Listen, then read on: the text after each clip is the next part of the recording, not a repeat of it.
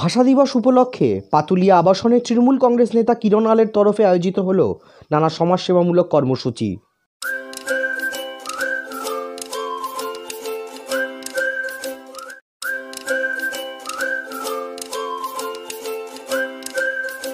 ভাষা দিবস উপলক্ষে খড়দহ পাতুলিয়া সরকারি আবাসনে তৃণমূল কংগ্রেস নেতা কিরণ আলের তরফে আয়োজিত হল নানা সমাজসেবামূলক কর্মসূচি। বিগত ন বছরের মতন এই বছরও রক্তদান, জটিল রোগে আক্রান্তদের ওষুধ বিতরণের পাশাপাশি ছিল শিশুদের জন্য অঙ্কন প্রতিযোগিতা ও বর্ণাঢ্য সাংস্কৃতিক অনুষ্ঠান। ভাষা দিবস উপলক্ষে এই রক্তদান উৎসবে প্রচুর রক্তদাতা রক্তদানের জন্য এই অনুষ্ঠানে উপস্থিত হন। এই কর্মসূচি নিয়ে বলতে গিয়ে অনুষ্ঠানের প্রধান উদ্যোক্তা কিরণ আলে জানান, আমরা একুশে ফেব্রুয়ারি আন্তর্জাতিক যে ভাষা দিবস উপলক্ষে মহান শহীদদের স্মরণে আমরা দু হাজার নয় দিয়ে প্রতি বছরই রক্তদান শিবির করি। রক্তদান শিবিরের সঙ্গে আমরা কুড়ি একুশ বাইশ তিন দিন প্রোগ্রাম কুড়ি তারিখ করে আমরা হার্ট লিভার সুগার কিডনি আক্রান্ত যারা আছে তাদের এক মাসে ওষুধ প্রদান করি। আর দুপুর তিনটে দিয়ে আমরা অঙ্কন প্রতিযোগিতা করি। আর সন্ধ্যের সময় আমরা বাচ্চাদের একটা নৃত্য অনুষ্ঠান। আজ করছি আমরা কিনা রক্তদান শিবির। আর রাত্রে সাংস্কৃতিক অনুষ্ঠান। কজন রক্তদাতা রক্ত দেবে? প্রতি বছর তো বেশি করে এবছর যেহেতু করোনার কারণে বেশি ডোনার হবে না বলে আমরা দুশো লোকের টার্গেট নিয়েছি।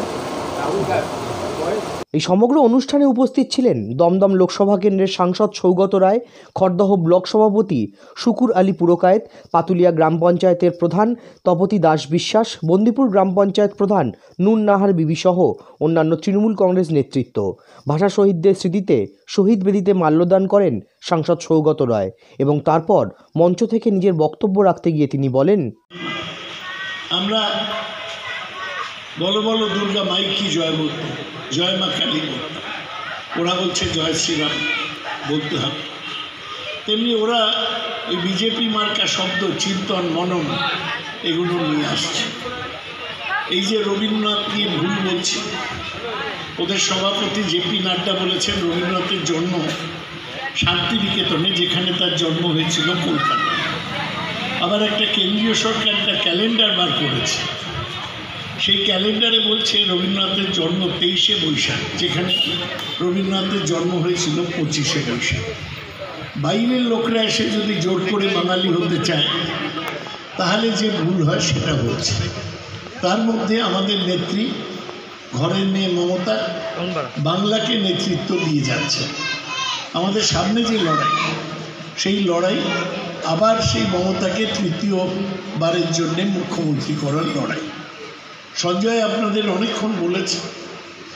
মমতা ব্যানার্জি যে কাজ করেছেন, সবচেয়ে বড় কাজ স্বাস্থ্যসাথী যার কার্ড আপনারা প্রতিটা অঞ্চলে পেয়েছেন, তার মাধ্যমে আপনারা চিকিৎসার নিরাপত্তা পাবেন। আরেকটা বড় কাজ খাদ্যসাথী, যার মাধ্যমে আপনারা বিনামূল্যে রেশন পাচ্ছেন। কলকাতায় চালু হয়ে গিয়েছে পাঁচ টাকায় ডিম ভাত।